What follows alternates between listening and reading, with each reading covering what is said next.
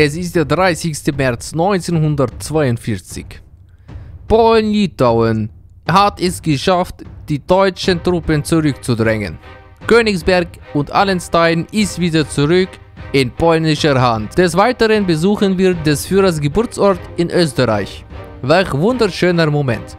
Des Weiteren befreien wir die Tschechoslowakei und bringen diese in unsere wunderschönen Territorien. Die Sowjetunion wurde vom russischen Empire im Bürgerkrieg besiegt.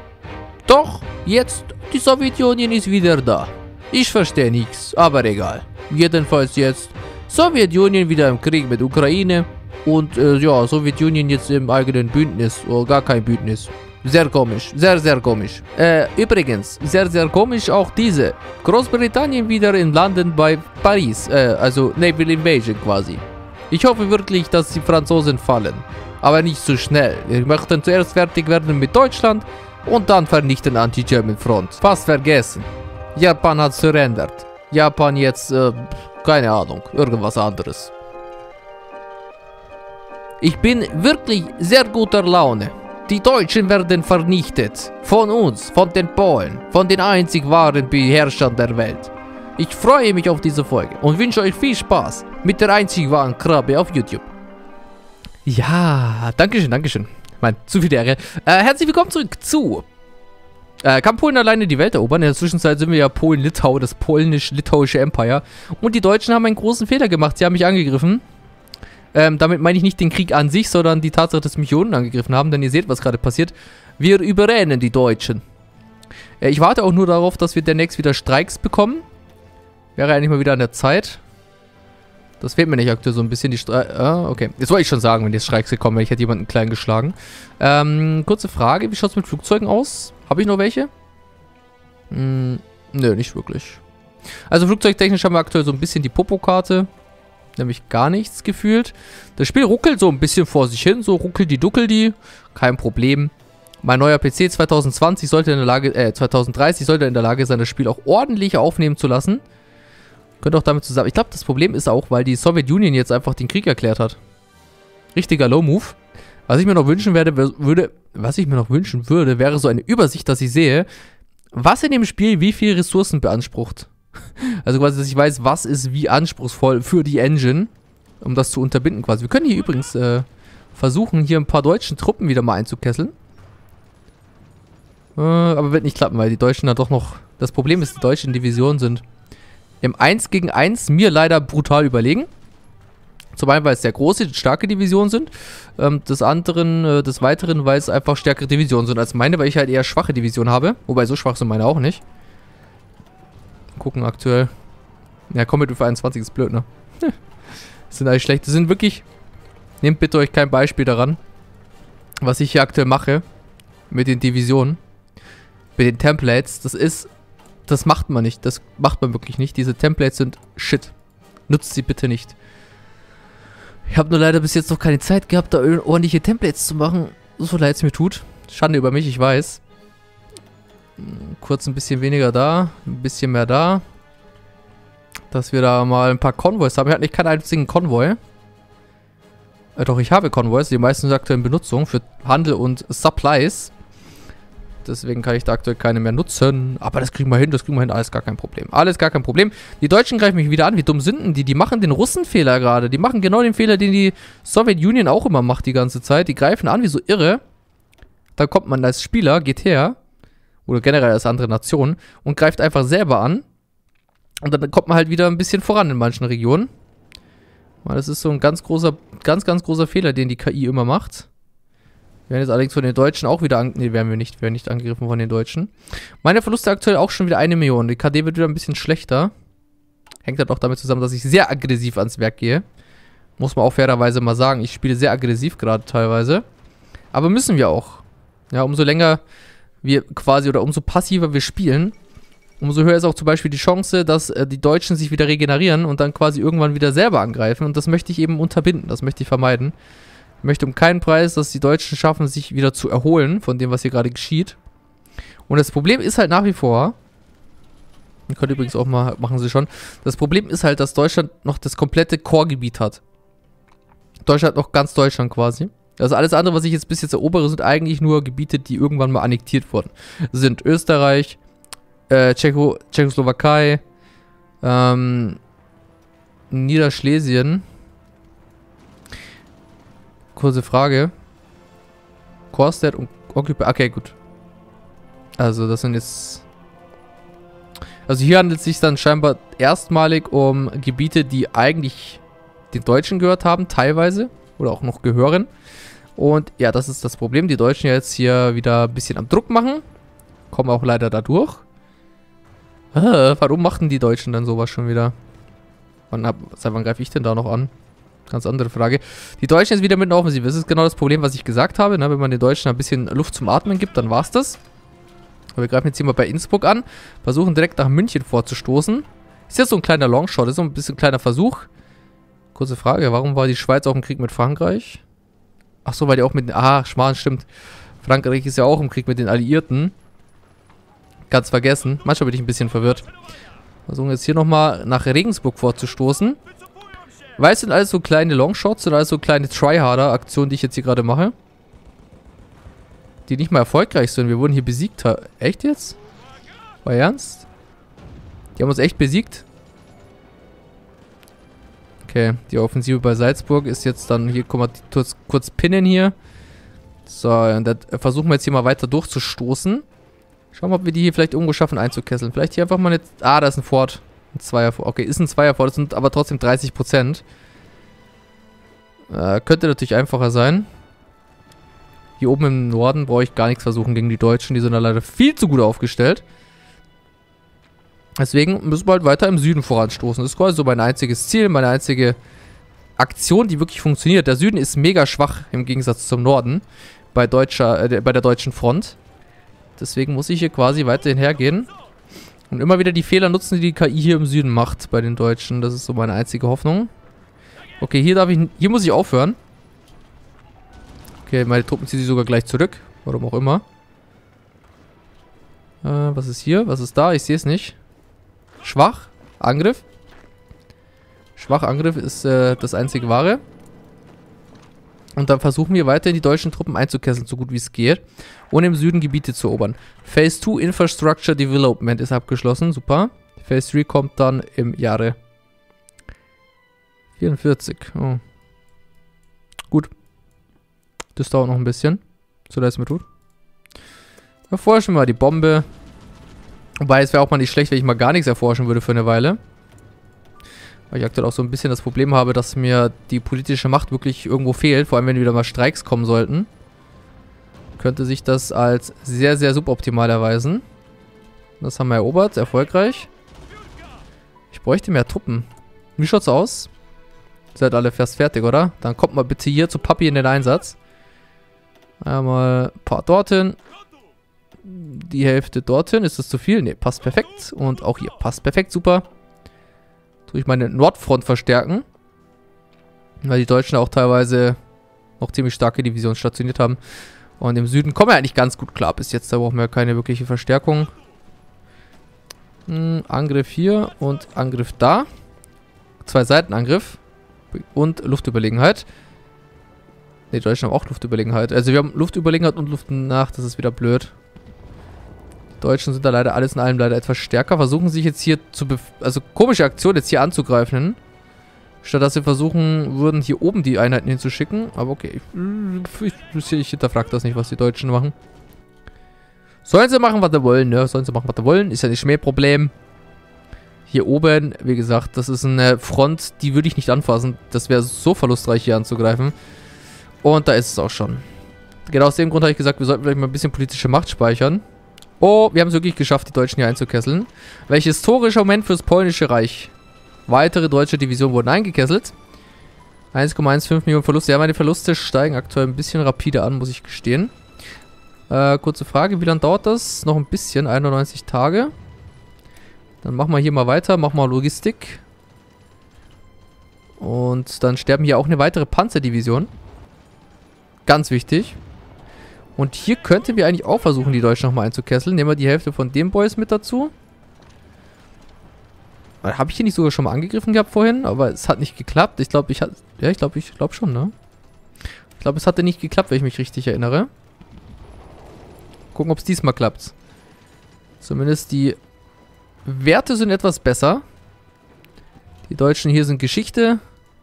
2,78 Millionen, jawohl. Truppentechnisch gammeln noch um die 120, 130 rum. Ich habe 193. Echt? 193? Lol. Ich bin den Deutschen sogar überlegen, was die Truppen angeht aktuell. Ich meine, ich habe eine Manpower von 2 Millionen im Feld. Das ist genauso viel wie Deutschland. Ich alleine habe genauso viel Truppen im Feld wie Deutschland. Das ist eigentlich auch lustig. Hätte ich nicht gedacht, dass ich das mal erleben darf, dass ich genauso viele Truppen im Feld habe wie Deutschland. Wir schaffen es dann wahrscheinlich sogar wirklich, die hier einzukesseln. Die Offensive läuft hier auch weiter und wir haben es geschafft. Super.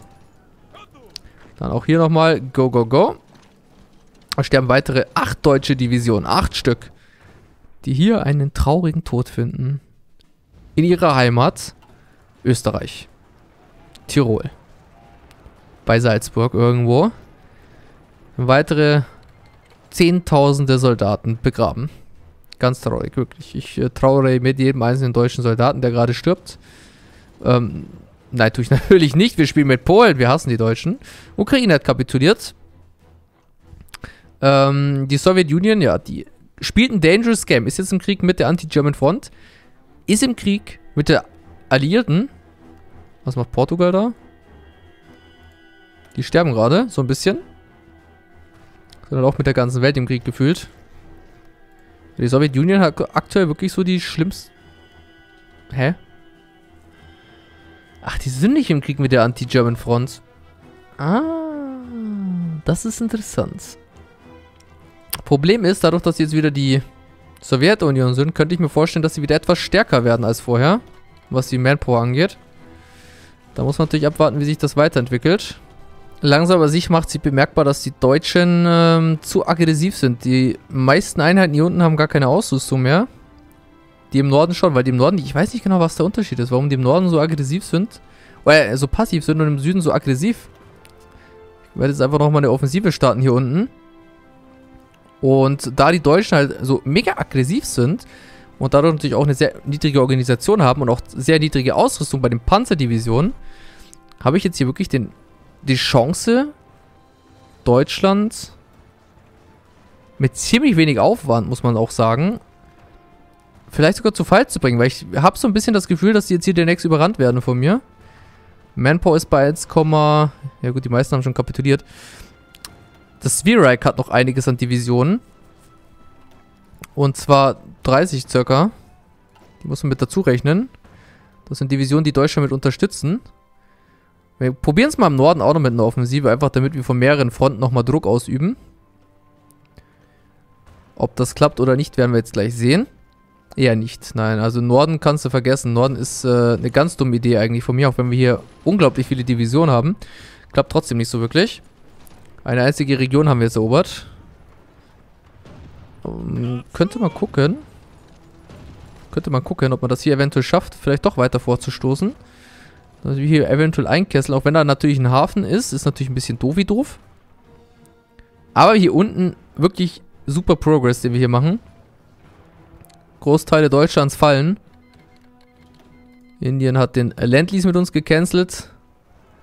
Und Deutschland wird hier unten im Süden gerade wirklich fast komplett überrannt, so ein bisschen, ne? Wie man sieht.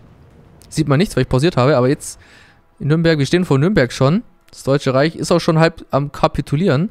Unser Warscore beträgt 60%. Da bin ich auch mal auf die Friedenswarnung nachher gespannt. Äh, da können wir uns den Flughafen holen. Hier. Ähm, sorgen bitte kurz dafür, dass die nicht zum Flughafen kommen. Eminent wichtig in der Situation. Okay, brauchen wir noch mal einen. Du? Ah, da kommt... Ach, jetzt wollte sie natürlich richtig wissen. Kommen die rechtzeitig hin? Ah, das gibt's nicht. Kommt doch noch ein Panzer angefahren. Kann doch nicht sein. Mach doch nicht so einen Aufstand hier wegen dem scheiß, äh, wegen der scheiß Region da. Jetzt, hat Dankeschön. Nein, ich habe mich nicht aufgeregt. Nein, nein. Ist, nur, ist alles Show. Gehört alles zum Game. Mein Pokerface. Äh, Großbritannien mit der 12. Naval Invasion in der Anti-German Front bei Frankreich. Ja, die Anti-German Front wird sich freuen, dass sie gleich nutzlos ist. Weil ich hier eigentlich quasi die Deutschen gerade alleine fertig mache. Probieren jetzt nochmal eine Offensive hier oben, weil die Deutschen da aus irgendwelchen Gründen sehr niedrige Organisation haben. Und dann nutzen wir das natürlich gleich für uns und greifen hier weiterhin an. Auch wenn die Verluste wirklich, sieht jetzt sehr dramatisch aus.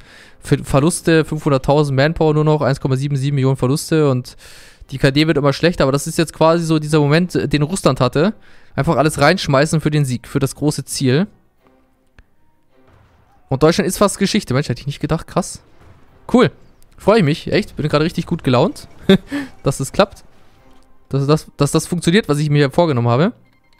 Und dann kann ich ne, quasi wirklich, ich glaube, ich kann da wirklich gleich unbesorgt und entspannt den Russen den Krieg erklären. Weiß, klingt komisch, so man sagt, so cool, man kann quasi entspannt den Russen den Krieg erklären. Aber ist wirklich so. Kann die wirklich. Und in, wir lassen die Offensive jetzt auch durchlaufen. Ich werde jetzt hunderttausende Menschen verlieren. Ist mir jetzt auch irgendwo total egal. Wir werden jetzt auch hier die komplette Rekrutierung stoppen, damit wir wirklich alle Ressourcen und Männer zur Verfügung haben. Machen jetzt vielleicht mal eine ganz kurze Pause. Organisation auffüllen, Ausrüstung nochmal auffüllen. Dass wir nochmal ganz kurz wieder alles bei Schiff haben. Da sind ein paar deutsche Divisionen eingekesselt. Hm, die Deutschen versuchen selber nochmal eine Offensive zu starten in der Situation. Köslin wird wahrscheinlich gleich fallen. Damit gehört dann der Hafenregion uns. Damit sind die weiteren Truppen, die sich dort aufhalten, ebenfalls Geschichte. Okay, die Offensive auf Köslin ist gescheitert. Warum auch immer. Jetzt hat sie geklappt. Ihr bleibt bitte da. Ihr bleibt auch da. Wie sie auch sofort wieder dahin geiern wollen, ne? So, die sind Geschichte. Dankeschön. Damit sind die ganzen deutschen Divisionen hier ebenfalls. Ciao, ciao. So, so schaut das Deutsche Reich aktuell aus. nicht mehr so schön wie vorher, ne? Aber noch hat Deutschland, noch ist Deutschland nicht geschlagen. Sogar jetzt. Sogar jetzt ist Deutschland noch nicht komplett geschlagen. Na gut, wir machen jetzt mal kurz die Division da weg. Dass unsere Einheiten oben an die Front mit hin können. Und dann, äh, ja, die meisten Fabriken gehören jetzt mir, der Deutschen. Aber Deutschland ist immer noch nicht geschlagen. Die haben immer noch um die 150 Fabriken. Die haben immer noch um eine, um 2 Millionen Manpower insgesamt, die Achse. Die sind vielleicht angeschlagen. Die sind vielleicht angeschlagen. Also sind noch nicht geschlagen. Das ist ein Unterschied. Da muss man aufpassen. Jetzt haben wir immer mal die 42er Waffen erforscht. Da werden wir jetzt natürlich gleich alles reinpumpen, was wir aktuell an Mittel haben. Weil Waffen ist aktuell mit so das Wichtigste, vor allem weil ich ja einen sehr hohen Infanteriefokus habe. Okay, das geht nicht mehr. Und da haben wir sie auch schon, unsere MK1. Sehr teuer in der Produktion. Aber was soll man denn machen? Meine Güte. Muss halt auch mal was investieren. Machen dann nebenbei weiter mit der 43er Forschung der Ammunition. Und die Deutschen versuchen jetzt hier in der Zwischenzeit natürlich, ja, war klar, dass das passiert. Die Deutschen jetzt mit Gegenoffensiven in manchen Regionen. Das war, war logisch, also dass das kommen wird, das war klar irgendwo. Mir fehlt jetzt natürlich auch überall leider die Ausrüstung des Equipments. Mich würde es nicht mal wundern, wenn ich das jetzt noch verscheiße, weil ich zu offensiv, zu aggressiv war. Das wird hier quasi von den Deutschen zurückgedrängt werden, zurückgeprügelt. Wäre sehr super optimal, aber kann jederzeit passieren. Ist wirklich total möglich jetzt aktuell. Wir müssen jetzt mal kurz die Füße stillhalten. Und abwarten. Was passiert sonst noch so in der Welt? Das kommunistische Portugal ist bald Geschichte. Da hat die Anti-German Front zugeschlagen. Die Sowjetunion hat den Krieg gegen die Ukraine gewonnen und chillt jetzt wahrscheinlich für die nächsten 10 Jahre, bis ich den mal den Krieg erklären kann irgendwann. Die United States sind im Krieg mit dabei. Gut, das ist alles gut und schön. Großbritannien mit Naval Invasions ohne Ende in äh, Kingdom of Thrones, aber die werden wahrscheinlich nie was erreichen. Das wäre das erste Mal, dass das was bringen würde, was sie da treiben. Was wir das nochmal ganz kurz machen können, ist ganz nebenbei. Gucken, ob ich irgendeinen von den Feldmarschallen hier, jawohl, Infanterieexperte, äh, einen von den Boys noch Fertigkeiten geben kann. Das ist übrigens ein DLC. Ähm, wenn ihr, also quasi, das ist ein DLC, ich weiß nicht mehr welcher das ist, oh, mit dem ihr dann die Fertigkeit bekommt, euren generell neue Fertigkeiten zuzuweisen. Wusste ich bis vor kurzem auch noch nicht, dass es ein DLC ist, jetzt weiß ich's. Wie gesagt, immer dankbar, wenn da Leute mehr wissen als ich. Ich bin ja auch nur eine kleine naive Krabbe letzten Endes. Wir brauchen noch Tungsten auf alle Fälle. Naja gut, mit Portugal handeln ist so eine Geschichte aktuell, ne? Gibt einfachere Sachen. Und die Deutschen jetzt wieder mit Offensiven hier im Süden. Das heißt, ich kann jetzt wahrscheinlich demnächst wieder hergehen und kann meine südliche Armee wieder in die Offensive mitschicken. Weil die Deutschen hier dann auch wirklich total naiv sind. Ich weiß nicht, warum. Ich weiß es einfach nicht, warum die hier wirklich immer und immer wieder angreifen und angreifen und angreifen. Mein, ist mir recht, macht was ihr wollt. Aber warum? Äh, das können wir mal aufhören hier zu erforschen, weil das bringt mir eigentlich überhaupt nichts. 1942 äh, Rubber Plants. Brauchen unbedingt Rubber, ganz wichtig für unsere Flugzeugarmada. Oh, hier oben, ja, wie ich schon sagte, Berlin ist sehr gut bewacht aktuell. Da ist die starke deutsche Chor und hier im Süden sind so quasi die Noobs. Mal hart, über, hart übersetzt. ja, schauen wir, ob wir die Noobs nochmal ein bisschen zu feig kriegen. Starten hier nochmal eine neue Offensive. Kostet wieder Manpower ohne Ende, ja, ich weiß. Ist eigentlich dumm. Dumm, seine Manpower so krass zu opfern, ne? Aber ich mach's trotzdem. Und warum? Ja, weil ich's core, ganz einfach. Aber wir haben bald wirklich keine Manpower. Wir müssen wahrscheinlich das Gesetz ändern auf äh, 10%. Service by Recruitment wäre das nächste. Und das werde ich wahrscheinlich auch brauchen, so leid es mir tut. Nürnberg ist aktuell umkämpft, dürfte demnächst auch fallen. Aber alles in allem, naja, tun wir uns ein bisschen schwer aktuell, um ehrlich zu sein. Prag gehört gleich uns. Natürlich alles schwere Schläge für die deutsche Propagandamaschine. In eine Stadt nach dem anderen fällt. Ich habe ja auch ein paar wichtige Gebiete der Deutschen schon erobert in der Zwischenzeit. Ähm, Stuttgart, Nürnberg, Regensburg, Augsburg, München, das sind alles große Gebiete, viel Manpower, die da auch verloren geht, ein paar Fabriken.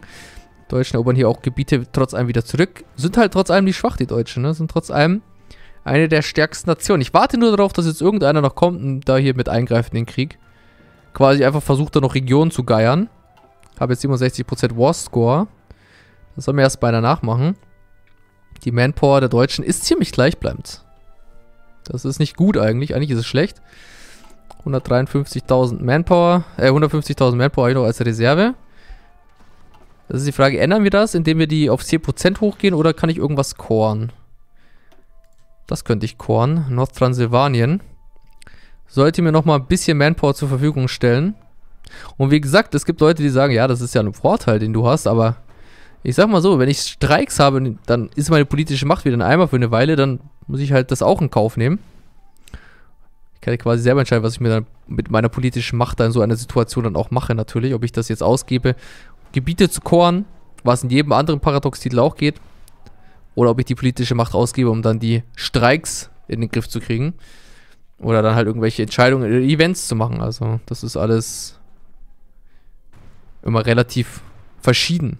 Ja, deswegen ja, mache ich das halt so, wie ich es für am besten halte und wie ich auch denke, dass das so ein bisschen vom Spielspaß und vom Sinn her am besten ist. Aber gut, wie gesagt, sieht jeder ein bisschen anders. Ähm, ich versuche das auch alles irgendwo ein bisschen in Grenzen zu halten. Ich meine, die Mod ist auch ziemlich fair gemacht. Umso mehr Bevölkerung in einer Region ist, umso teurer wird das Ganze natürlich auch. Es ist nicht so, dass ich jetzt mal eben hier dann mit einem Schlag sofort 10 Millionen Manpower kriege. Ist ja natürlich nicht so. Da ist die Mod schon auch ein bisschen fair gehalten, dass man da nicht zu einen krassen Vorteil hat. Und auf der anderen Seite gebe ich ja politische Macht aus, die auch für irgendwas sinnvoll sein sollte. Und in jedem anderen Spiel kann man natürlich diese politische Macht oder das Pardar oder wie man das nennen möchte, dieses Gegenstück zur politischen Macht im jeweiligen Spiel, kann man natürlich in jedem anderen Spiel ausgeben, um unter anderem Gebiete auch zu koren. Deswegen, wie gesagt, ich sehe das alles relativ entspannt.